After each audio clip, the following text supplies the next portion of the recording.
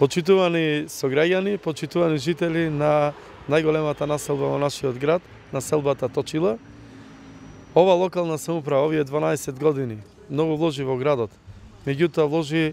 многу и во оваа населба и од една од најзапоставените населби во нашиот град, најруинирана населба, прерасна во една најурбаните и најмодерни населби, не само во Прилеп, туку и во Република Македонија. Ние имаме реализирано многу проекти во, во населба, ја ќе ги напоменам само најкрупните проекти. Беше изграден еден од најголемите и најубави паркови во површина од 30.000 метри квадратни во делот Точила 1 помеѓу зградите, така што денес представува едно од најпријатните катчина за одмора, за и спортска рекреација на сите прилепчани жителите, посебно на Точила. Исто така, моментално се доуредуваат и парковските површини во населбата Точила 2, тоа се зградите кои што се наоѓаат десно од, а, од училиштето Блаже Конески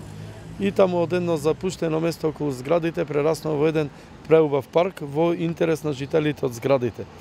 се реконструираше комплетно основното училиште Блаже Конески. Се реализираат десетици проекти во ова училиште со вкупна вредност од 38 милиони денари или нешто повеќе над 650 илјади евра во минатиот период. Исто така, во оваа населба постои средното техничко училиште Ристе Ристески Ричко, каде беа инвестирани 68 милиони денари во најразлични проекти нешто, или нешто над милион евра, со што и во двете училишта комплетно се подобри образованието, наставните програми и на вистина овие две училишта исто така представуваат пример за образовни установи на територијата на општина Прилеп. Се изградија две нови спортски сали, и тоа едната е спортска сала со помош на предходната влада и Министерството за образование од голем обем, каде што се играат бројни спортски надпревари со публика, меѓутоа се користи и за училиштето и за спортски ентузијасти и по пат на јавно-приватно партнерство изградена е балон сала во дворното место на училиштето Блаже Конески. Значително се подобри осветлувањето во целата населба Точила. Од една од најзапуштените населби во однос на јавното осветлување, денес прераснува во една од најосветлените населби. Се изгради зграда со 76 станови за социјално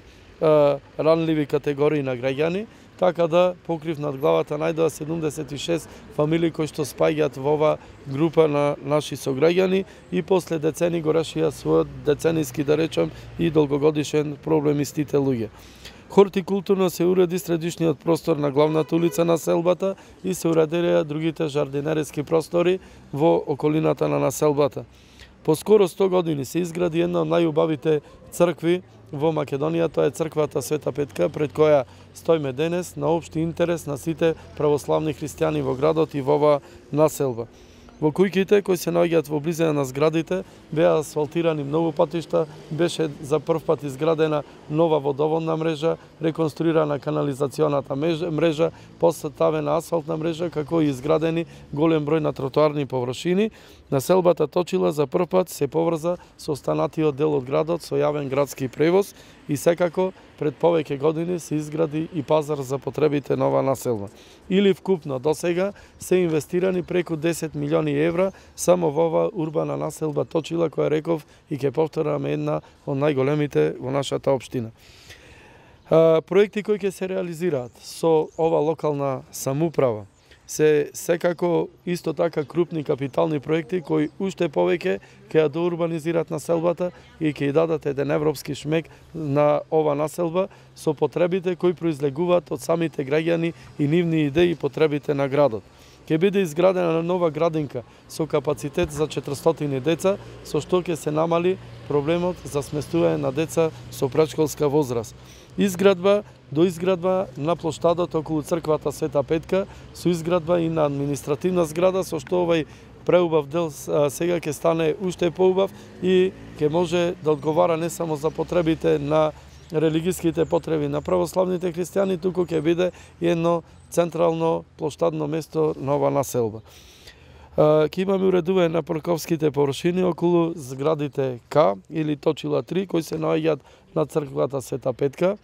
Очекуваме да овој зафат започне во текот на ова година и до пролет на редната година биде завршен, со што околината на зградите ќе добие еден преубав парк, парковски површини на општо задоволство на граѓаните кои што живеат во овие згради ќе се постават нови енергетски ефикасни светелки, а се планира и изградба на енергетски ефикасни фасади на двете училишта, тоа е средното училиште Ристе Ристески Ричко и основното училиште Блаже Конески. Ќе се уредуваат надворешните спортски игралишта во дворното место на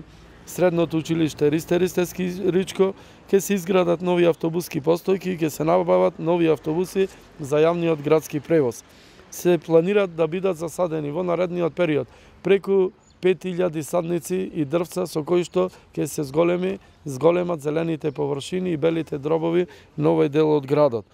Субвенционирање ќе има на влезните врати со домофони во зградите, со, со што ќе се возможи поголема заштита на а, а, зградите и колективниот стамбен простор. Тоа ќе биде во договор секако со куќните совети на зградите во оваа голема населба. Ке имаме субвенционирање секоја година на повеќе вакви влезни врати од страна на општината и тоа не само за овој дел на градот, туку воопшто и за другите згради на, на кои што се наоѓаат во, во град Прилеп ќе има исто така до асфалтирање на улиците и тоа позади црквата Света Петка и одредени улици кои што се наоѓаат помеѓу зградите К продажба на локација ќе обезбедиме за изградба на мини трговски центар и пазарот кој што сега постои ќе прерасне во пазар на органска храна и цветен пазар. Со сите овие проекти кои ќе ни овозможите со вашето гласање на 15 октомври, а ќе бидат реализирани после тоа, ќе прерасне ова урбана населба Точила во една модерна европска населба со која ќе се гордеат не само жителите на населбата Точила, туку и сите граѓани на општина Прилеп. Јас уште еднаш ги поздравувам граѓаните и ги повикувам на 15 октомври да гласат за бројот 13, за победничкиот број, за бројот кој што носи прогрес, нови проекти, работа и носи на вистина една подобра, подобар живот за сите граѓани на територијата на општина Прилеп.